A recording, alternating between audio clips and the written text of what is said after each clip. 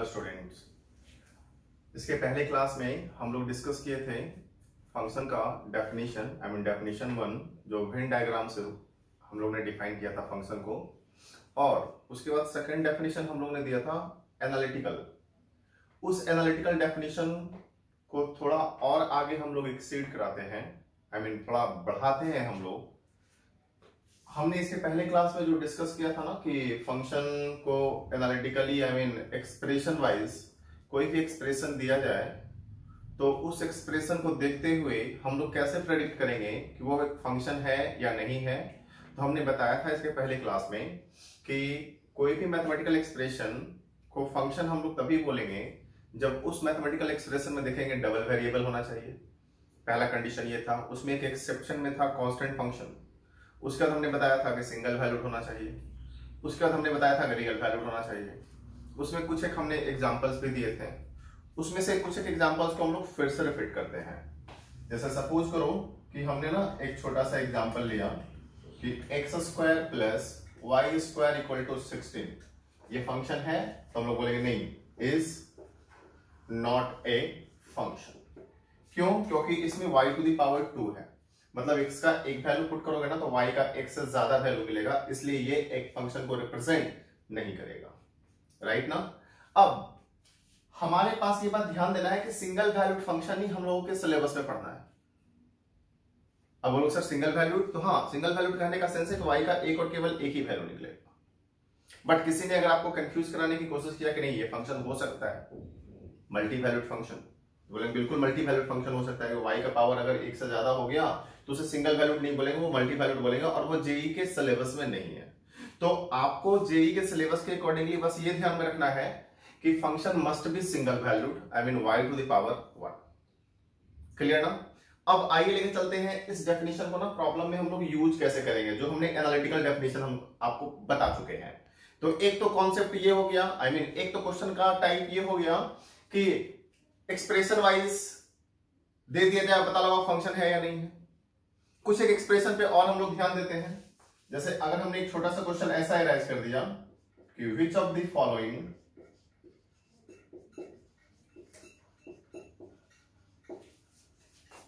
represent a function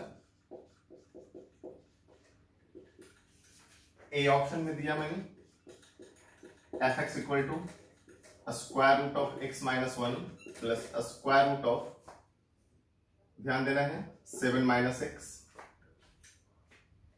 B में f x equal to हमने दे दिया log of x minus one by root under one minus x square C option में हमने दे दिया f x equal to log of log of sine D option में हमने दे दिया f x equal to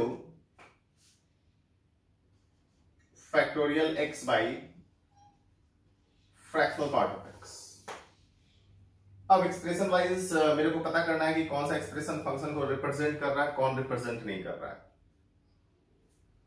तो यहाँ पे आप फील कर रहे होंगे सब में डबल वेरिएबल है।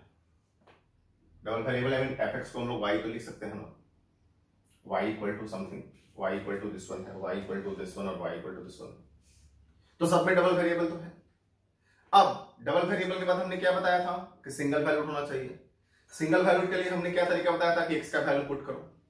लेकिन बात यह है कि सर x का कितना वैल्यू पुट करोगे आप? ऐसा भी तो हो सकता है कि जो आप वैल्यू पुट कर रहे हो, उसके लिए अनडिफाइंड हो जाए और जो आप सोच नहीं पा रहे हो, उसके लिए डिफाइंड हो जाए। है कि नहीं? तो यहाँ पे ना हम लोग एक ही क्वेश्चन को राइज करेंगे। कि ऐसे मैथमेटिकली प्रेडिक्ट कर पाना हम लोगों के लिए मुश्किल है। तो इसका सबसे आसान सा फंडा यही होगा कि अगर डोमेन ऑफ़ द फ़ंक्शन का निकालने का तरीका अगर हम लोगों के पास पता हो तो बहुत आसानी से बोल सकते हैं कि वो एक फ़ंक्शन को रिप्रेजेंट करेगा या वो एक फ़ंक्शन को रिप्रेजेंट नहीं करेगा। मतलब मेनली मैं बोलना ये चाह रहा हूँ कि ये सारे जो ऑप्शन है ना सब में मेरे को डोमेन जस्टिफाई करना पड़ेगा। आई I मीन mean, सबका डोमेन निकालकर चेक करना पड़ेगा। तो आप बोलोगे सर, कभी तो डोमेन निकालने का तरीका मैंने आपने बताया ही नहीं। तो जी हाँ बिल्कुल अभी हमने नहीं बताया। तो अभी मैं यही बोलना चाहूँगा कि भाई ऑब्जर्वेशन अभी थोड़ा सा इसको फील करो। ध्यान देना मेरी बात को एक्स का वैल्यू पुट करते हुए। अदरवाइज़ आगे हम लोग डोमेन ऑफ़ द फ़ंक्शन जैसे ही निकालने का तरीका मैं पढ़ाऊँगा। आई मीन आगे के लेक्चर में, आगे के वीडियो में मैं बताऊँगा कि how to find the domain of the function तो आप वहाँ पे प्रेडिक्ट कर लोगे कि कौन सा एक्सप्रेशन फ़ंक्शन को रिप्रेजेंट करेगा और कौन सा एक्सप्रेशन फ़ंक्शन को रिप्रेजेंट नहीं करेगा। बट फिर भी थोड़ा बहुत मैं मान के चलता हूँ कि आप लोगों को पता होगा। तो आइए हम लोग चेक करते हैं बारी बारी से सारे एक्सप्रेशन को। देखिए। हमने अगर ए ऑप्शन को चेक किया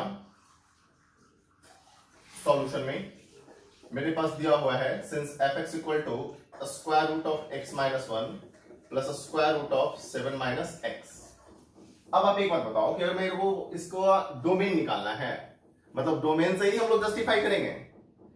या ध्यान देना यहाँ पे, इसको और हम लोग ऐसा बोल सकते हैं ना कि और y equal to square root of x minus one plus square root of seven minus x अब किसी ने बोल दिया कि सर ऑब्जर्वेशन के तहत अगर मैं इसका, इसके बारे में बात करूँ तो मतलब कि अगर मैं x का वैल्यू वन पुट करता हूँ मैं तो वन पे तो ये ज़ीरो हो जाएगा, लेकिन हमारे पास ध्यान x का वैल्यू वन पे ज़ीरो हो जाएगा, और एक्स का वैल्यू वन पे, ध्यान देना मेरे x का वैल्यू वन पुट करेंगे तो seven minus one six six का स्क्वायर तो डिफाइन होगा। इसका मतलब x का वैल्यू वन पे तो ओवरऑल ये डिफाइन हो गया। तो एक बात तो पता है कि x के किसी भी वैल्यू के लिए अगर कोई भी एक्सप्रेशन डिफाइंड है ना तो वो फ़ंक्शन को रिप्रेजेंट किया। बट फिर भी, मेरे को अगर इसका जेनविन इसका मतलब आई टू से डोमेन निकालना हो कि कहाँ से कहाँ तक x के वैल्यू के लिए ये डिफाइंड है तो आप बताओ स्क्वायर रूट को डिफाइन होने के लिए हम लोगों को क्या चाहिए? कि x minus one must be greater than और इक्वल टू ज़ीरो फ़र्स्ट करेंगे इसको हम लोग। इस स्क्वायर रूट को डिफाइन होने के लिए क्या चाहिए? तो स्क्वायर रूट के अंदर का जो टर्म होना चाहिए वो ग्रेटर देन और इक्वल टू ज़ीरो इसको हमने सेकंड मान लिया। अब बारी बारी से दोनों को सॉल्व करते हैं हम लोग। तो यहाँ से देखते हैं कि अगर मैं x का वैल्यू मैं बोल दूँगा, यहाँ पे ग्रेटर देन और इक्वल टू कितना? वन और यहाँ से मैं बोल दूँगा x should be less than और इक्वल टू कितना? सेवन और फिर यहाँ से हम लोग बोलेंगे फ़र्स्ट इंटरसेक्शन सेकंड तो फ़र्स्ट इंटरसेक्शन अगर सेकंड की मैं बात करूँ तो यहाँ ध्यान देना, x ग्रेटर देन और इक्वल टू वन है और x लेस देन और इक्वल टू सेवन है तो यहाँ से हम लोग बोलेंगे x का value lies between one to seven आई बात समझ में? इसका मतलब ये हुआ कि इसका डोमेन ऑफ़ द जो फ़ंक्शन होगा, x का वैल्यू वन से सेवन के बीच में। तो यहाँ से तो ये क्लियर हो गया हमारे पास ए ऑप्शन फ़ंक्शन को रिप्रेजेंट करेगा। है कि नहीं? चलो, उसी तरीके से हम लोग बी ऑप्शन की बात कर लेते हैं। बी ऑप्शन में हमारे पास था क्या? देखिएगा जरा।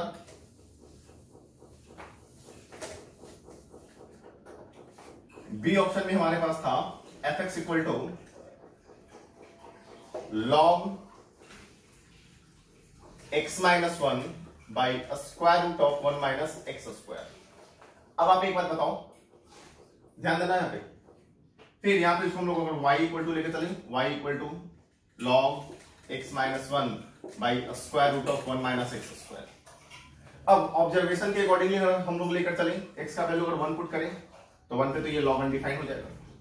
अगर मैं एक्स का वैल्यू टू पुट करूँ तो टू पे तो यहाँ पर पुट करना two minus one one log one zero ये तो ज़ीरो हो गया। और ज़ीरो और टू जैसे ही पुट करूँगा यहाँ पे, ना तो ध्यान देना one minus four minus three और माइनस थ्री का स्क्वायर रूट डिफाइन नहीं है रियल के सेंस में। इसका मतलब ये हुआ कि सर, ये हमारे पास टू के लिए डिफाइन नहीं है। बिल्कुल थ्री के लिए करोगे तो ये तो डिफाइन हो जाएगा। लेकिन थ्री के लिए ये, फिर अनडिफाइंड हो जाएगा। तो मेरा क्वेश्चन यही है ना। हम लोगों का क्वेश्चन तो यही है कि ऑब्जर्वेशन हर एक सिचुएशन में काम तो नहीं कर पाएगा। मैं जिस जिस वैल्यू के लिए सोचू, हो सकता है उस वैल्यू के लिए अनडिफाइंड हो रहा हो, लेकिन कुछ और वैल्यू जिसके बारे में हम लोग सोच ना पाए, उसके लिए डिफाइंड हो जा रहा हो।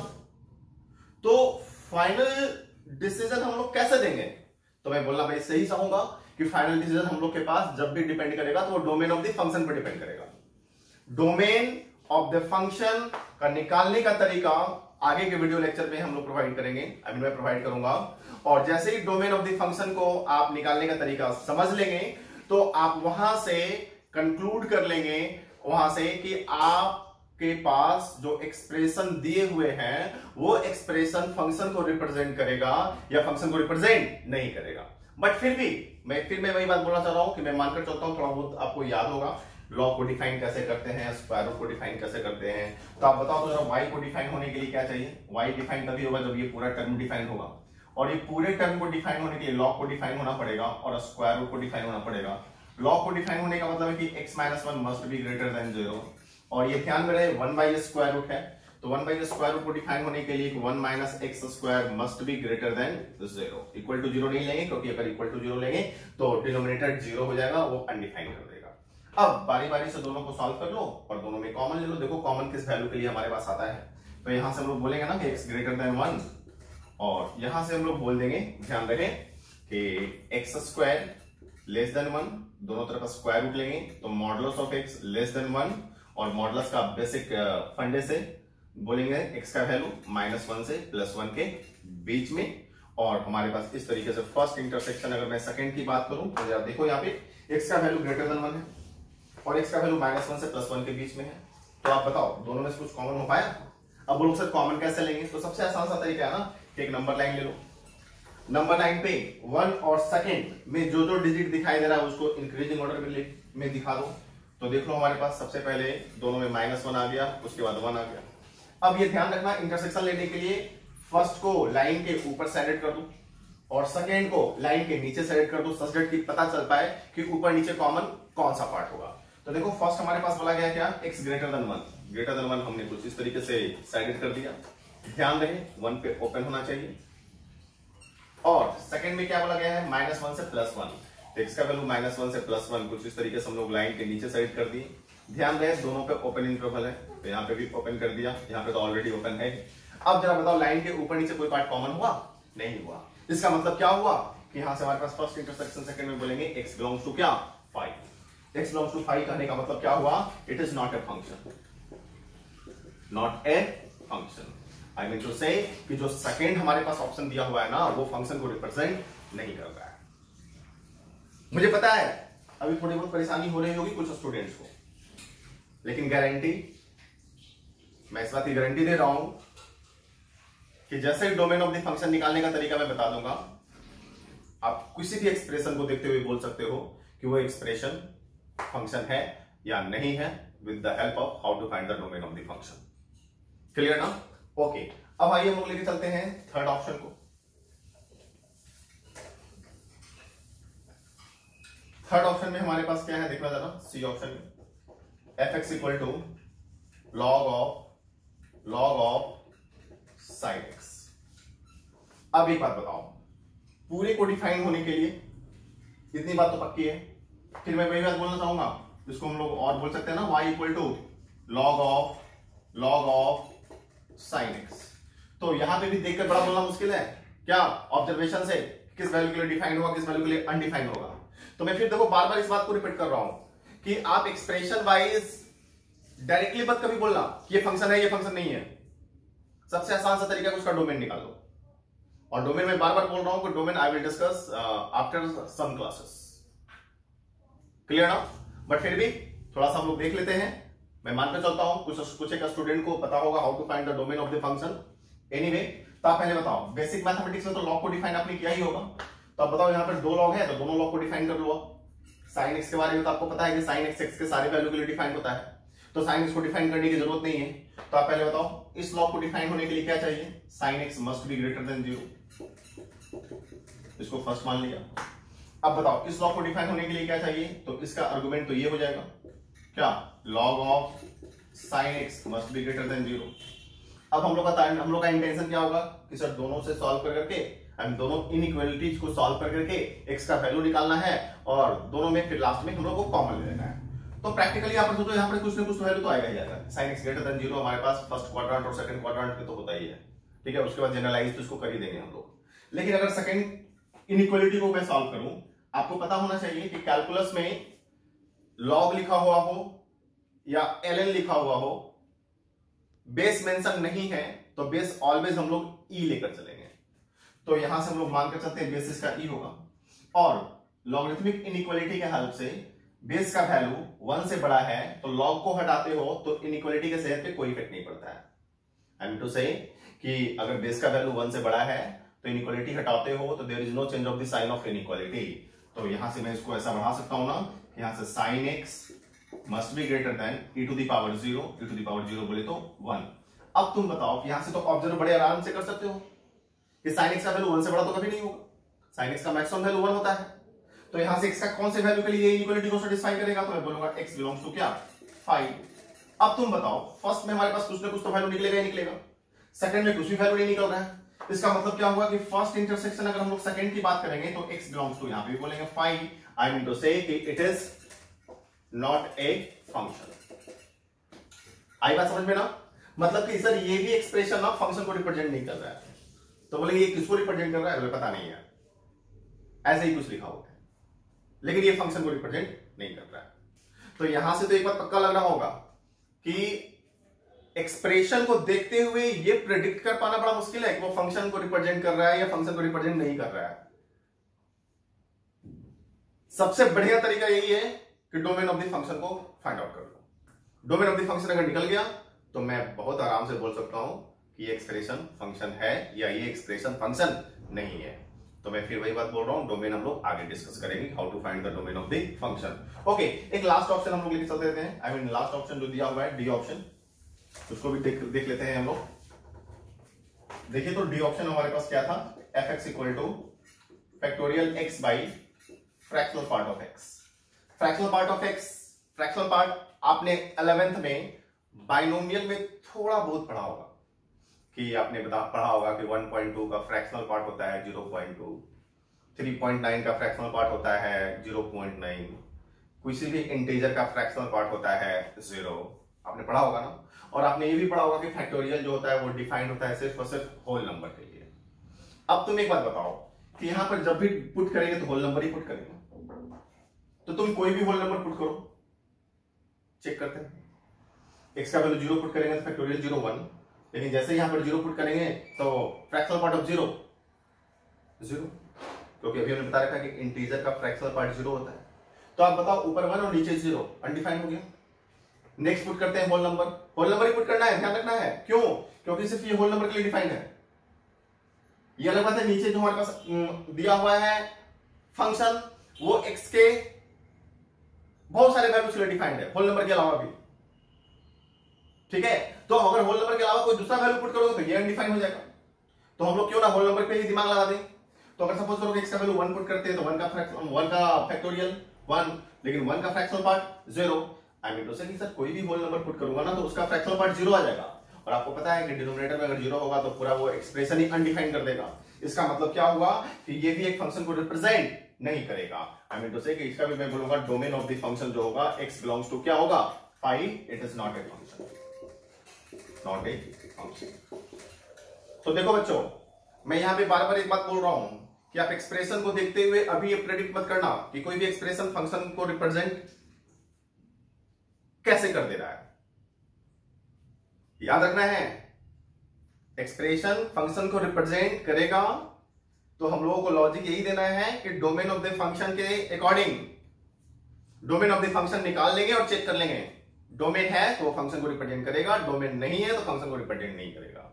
इसका मतलब है, यहाँ से तो एक बात पता हो रहा होगा आप लोगों को ना, कि कैलकुलस में डोमेन का बहुत ही ज़्यादा यूज़ है। अगर डोमेन है तो फ़ंक्शन है फ़ंक्शन है तो पूरा कैलकुलस है। इसलिए ध्यान रखना है, किसी भी हाल में डोमेन ऑफ़ द फ़ंक्शन को जब मैं बताऊँगा कि डोमेन ऑफ़ द फ़ंक्शन कैसे निकालते हैं तो उसे बहुत अच्छे से समझना, बहुत अच्छे से उस वीडियो को देखना। और गारंटी है इस बात की डोमेन ऑफ़ द फ़ंक्शन अगर आपने समझ लिया तो आपका रेंज भी बहुत अच्छा हो जाएगा। क्योंकि हमने डेफिनेशन में ही बता रखा है कि जो डोमेन की कॉरस्पॉन्डिंग वैल्यू होगी, उसको क्या बोलते हैं? रेंज याद होगा ना? यस तो आइए हम लोग आगे बात करते हैं कि ये जो डेफिनेशन हमने सेकंड डेफिनेशन जो बताया था एनालिटिकल डेफिनेशन एनालिटिकल डेफिनेशन का तो एक बेसिक यूज़ ये हो गया। कि हमारे पास एक्सप्रेशन को देखते हुए कौन सा एक्सप्रेशन फ़ंक्शन को रिप्रेजेंट करेगा, कौन सा एक्सप्रेशन फ़ंक्शन को रिप्रेजेंट नहीं करेगा, थोड़ा बहुत हम लोग बोल सकते हैं। बट फाइनल जो हम लोग फाइनल हम लोग का जो डिसीज़न होगा, वो डोमेन ऑफ़ द फ़ंक्शन को देखते हुए ही देना है। एक बात और ध्यान में रखना है कि ये एक्सप्रेशन जो हमने दिया, बहुत सारा अभी ऑप्शंस दिया था। उसमें से बहुत सारा ऑप्शन फ़ंक्शन को रिप्रेजेंट नहीं किया। इसका मतलब क्या हुआ है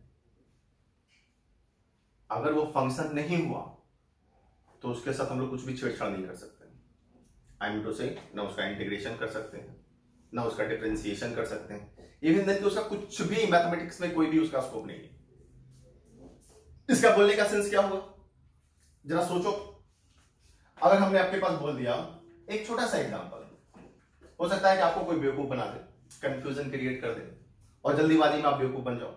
जैसे अगर मैं बोलूँ f x equal to log of log of sine x और मैं बोल दू find f dash x f dash x बोले तो d y by d x तो आपने इलेवेंथ में भी पढ़ा रखा होगा कि सर y इक्वल टू दिया हुआ है log of log of sin x. और यहाँ पर तो कंपोजिट फ़ंक्शन है। तो यहाँ पे चेन रूल बड़े आराम से लगा देंगे कि dy बाई डी एक्स इसको डिफ्रेंशिएट करेंगे तो हम लोग क्या आएगा? पहले इस लॉग को डिफ्रेंशिएट करेंगे। तो log x का डिफ्रेंशिएशन आपको पता है वन बाई एक्स होता है। यहाँ से इस लॉग को डिफ्रेंशिएट करेंगे तो x का जगह पे ये पूरा आ जाएगा। log sin x, फिर इनटू करेंगे तो इस लॉग को, इस लॉग को डिफ्रेंशिएट करेंगे तो इस लॉग का x sin x हो जाएगा।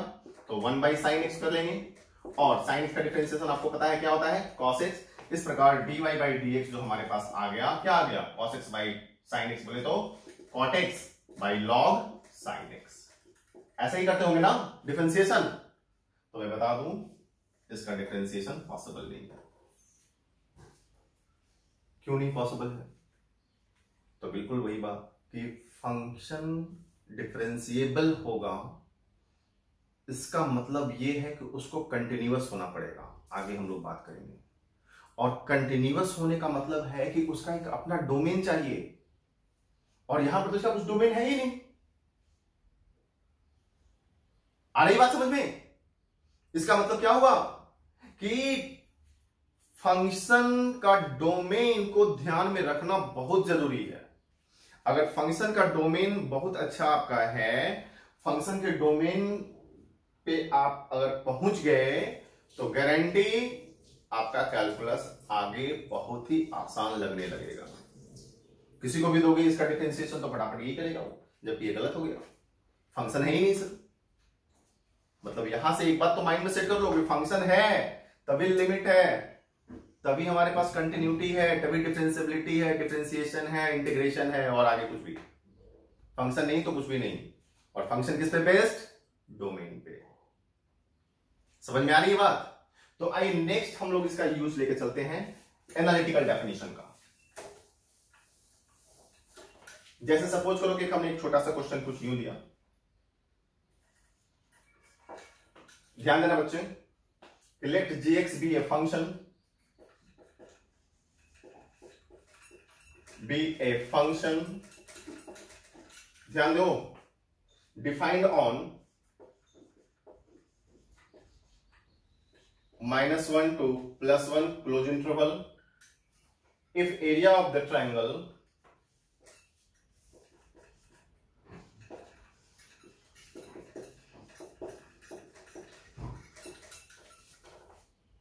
with two of its vertices at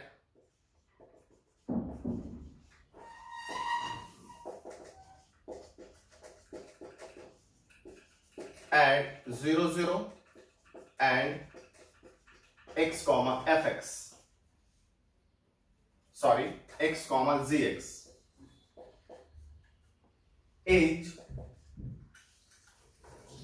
root 3 by 4 square units then gx can be a option a square root of 1 minus x square b option plus minus a square root of 1 minus x square c option minus of a square root of 1 minus x square d option none of which ध्यान देना। Question में क्या बोला गया है? Let g x be a function defined on minus one to plus one close interval if the area of the triangle with two of its vertices at zero zero and x comma g x area दिया हुआ है triangle का। ठीक है? तो मेरे को जी x को डिटरमिन करना है। जी एक्स होगा क्या? और लेके चलते हैं इस क्वेश्चन को।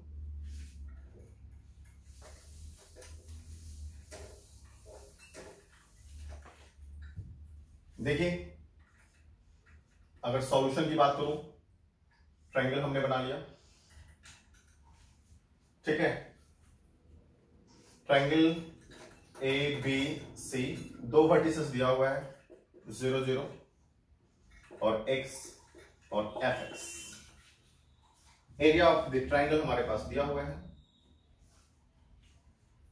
एक बात और ध्यान में रखें कि जो ट्राइंगल है ना क्वेश्चन में, वो देना मैं भूल गया इक्विलेटरल ट्राइंगल है। तो इक्विलेटरल ट्राइंगल हमने कुछ इस तरीके से ले लिया। ठीक है? एरिया दिया हुआ है तो मेरे को ना, ये एफ़ एक्स नहीं है जी एक्स तो मेरे को जी एक्स फाइंड आउट करना है। तो आप बताओ since area of the equilateral triangle equal to आपको पता है ना root three by four into side square होता है। ठीक है? आप बताओ तो एरिया ऑफ़ इक्विलेटरल ट्राइंगल दिया हुआ है। कितना? Root three by four equal to formula लगाओ। Root three by four side square side का लेंथ तो बड़े आराम से निकाल सकते हैं। डिस्टेंस फॉर्मूला को यूज़ करते हुए। एक्स माइनस ज़ीरो का whole square plus g x minus zero का होल स्क्वायर ये पूरे का स्क्वायर रूट और ये पूरे का क्या? होल स्क्वायर ऐसे ही बोलेगा ना? इसको सिंप्लीफाई करते हैं। ये और ये कैंसिल हुआ। तो ये हमारे पास one equal to square root से ये खत्म हो गया। तो कितना हो गया? X square plus g x का स्क्वायर यहाँ से हम लोग बोलेंगे ना जी एक्स का square equal to one minus x square तो यहाँ से हमारे पास जी एक्स का वैल्यू क्या बोलेंगे? आप बताओ। Plus minus square root of one minus क्या? एक्स स्क्वायर अब ये ध्यान देना। यहाँ पे जी एक्स क्वेश्चन में जो बोला गया g x is a function but यहाँ पे जी एक्स एक फ़ंक्शन नहीं है। क्योंकि एक्स का एक वैल्यू पुट करोगे ना तो जी एक्स का दो दो वैल्यू मिलेगा, एक प्लस और एक क्या? माइनस तो फ़ंक्शन को होने के लिए यहाँ पर जी एक्स का वैल्यू आपको या तो square root of one minus x square करना पड़ेगा, या फिर जी एक्स का value minus of square root of one minus x square करना पड़ेगा। इसका मतलब है जी एक्स का कौन कौन सा वैल्यू होगा? Square root of one minus x square और g x equal to minus of square root of one minus x square ये ऑप्शन कभी नहीं बोलेंगे हम लोग प्लस माइनस जब भी बोलेंगे तो this one and this one तो यहाँ पे ऐसा क्यों हो रहा है, समझ में आ रहा है ना? क्योंकि ये फ़ंक्शन हमारे पास नहीं है। जी एक्स फ़ंक्शन दिया हुआ है क्वेश्चन में। तो फ़ंक्शन के डेफिनेशन को अगर ध्यान में रखेंगे, तभी इस क्वेश्चन को कर पाएँगे। अदरवाइज़ ये क्वेश्चन मैक्सिमम स्टूडेंट गलत कर बैठेगा। मैक्सिमम स्टूडेंट बोल देगा g x equal to plus minus student और वन माइनस एक्स स्क्वायर देखेगा ये कौन ऑप्शन में है? जो ऑप्शन में है, उसको टिक करके आगे निकल जाएगा। अरे नहीं बात समझ में? तो इस तरीके से हम लोग एनालिटिकल डेफिनेशन को समझने की कोशिश करेंगे। आई मीन एनालिटिकल डेफिनेशन जो हमने बताया फ़ंक्शन होता क्या है एनालिटिकली और उसको प्रॉब्लम में कैसे यूज़ करेंगे, वो भी हमने डिस्कस किया। अब आइए लेके चलते हैं फ़ंक्शन को डिफाइन करते हैं। ध्यान देना इस बात को।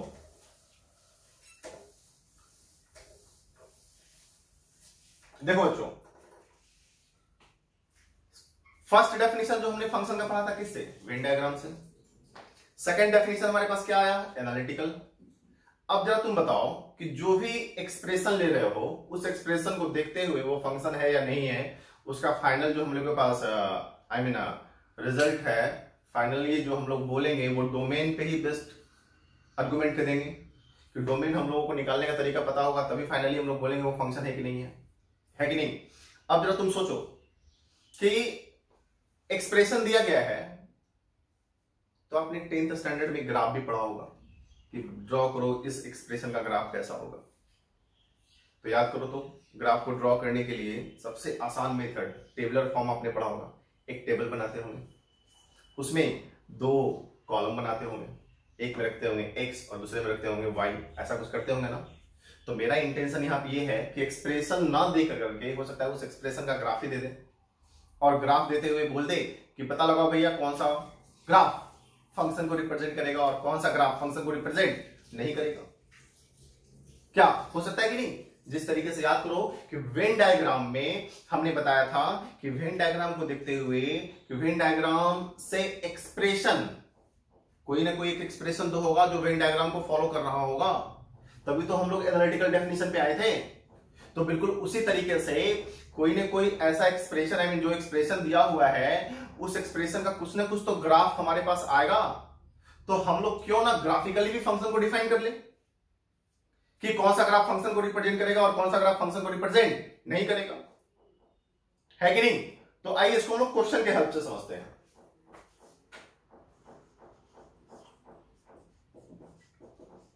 Which of the following graph represent a function y equal to fx मैं ए ऑप्शन में दे रहा हूँ एक्स और वाई दिया मैंने हमने ये बी ऑप्शन में दिया एक एग्ज़ाम्पल ये एक ग्राफ दिया। हमने ये सी ऑप्शन दिया। कुछ इस तरीके से। हमने ये डी ऑप्शन दिया। कुछ इस तरीके से। ठीक है? ई e ऑप्शन भी एक ले लो। कुछ इस तरीके से। अब देखना चाहते हैं कौन सा ग्राफ फ़ंक्शन को रिप्रेजेंट कर रहा है और कौन सा ग्राफ फ़ंक्शन को रिप्रेजेंट नहीं कर रहा है। तो ग्राफिकली हम लोग फ़ंक्शन को डिफाइन करेंगे।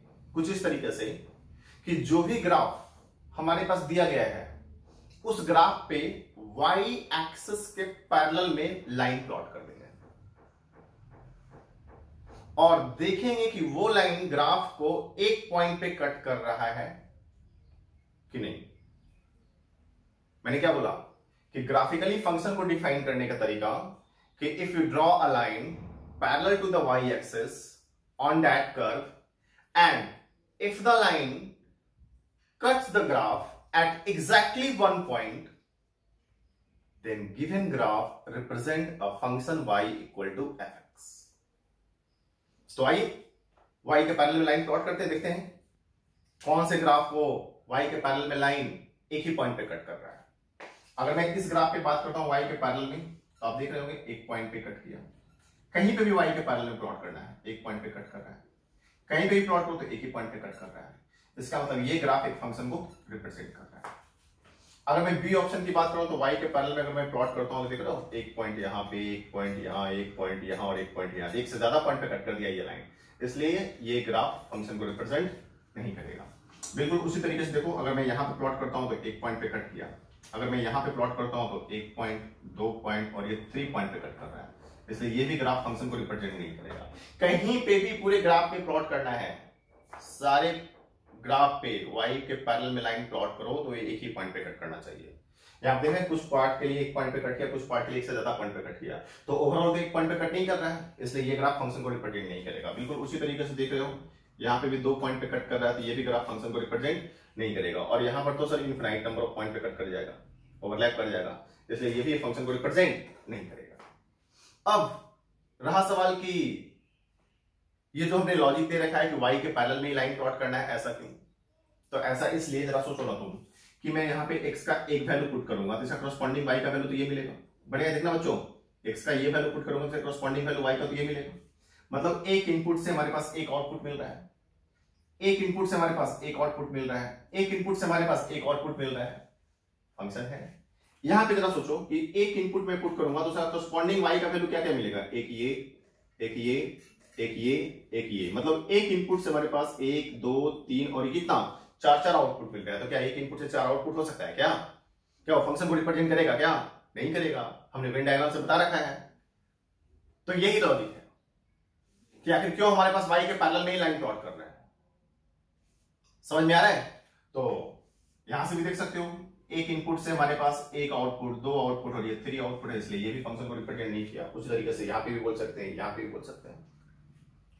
तो कोई भी एक्सप्रेशन का graph I I mean mean, कोई भी ग्राफ हमारे पास दे दिया जाए तो ग्राफिकली हम लोग कैसे प्रेडिक्ट करेंगे कि वो graph y equal to f x को रिप्रेजेंट करेगा या नहीं करेगा? आई I मीन mean, वो ग्राफ फ़ंक्शन को रिप्रेजेंट करेगा या नहीं करेगा? हमने बता दिया आपको सब सबको समझ में आ रही ना बात?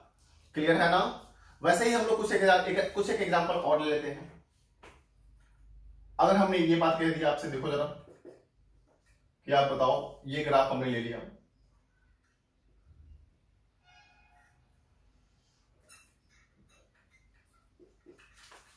ये एक और ग्राफ ले लिया मैंने।